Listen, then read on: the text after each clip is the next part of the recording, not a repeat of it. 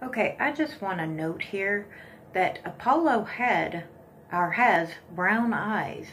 So, um, like, even if all the the giants and whatnot before have had recessive traits like blue eyes and blonde hair and all that, Apollo somehow has gotten brown eyes. So that also means that some of these demons or whatever, when they have children, they are having children with brown eyed children too.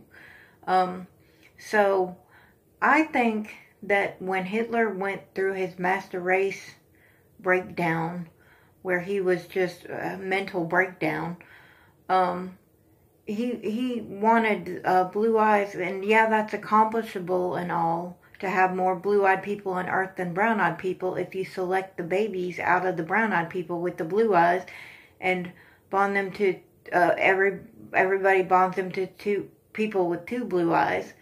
You could have three blue eyes and one brown eyes, or something like that. Um, let's say if they had and if they had grandchildren, you could trace it down the lineage and give them more blue-eyed people and have more children that have blue eyes.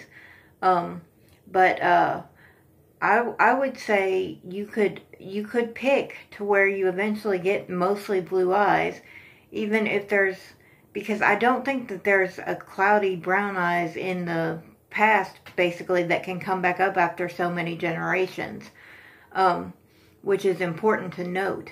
But it, it's important to note because Apollo has brown eyes. And see, that won't matter if you get your blue eyed people to where all they can have basically is blue eyes. They can't have a brown eyed child, basically, until they reintroduce a brown eyed person from brown eyed society back.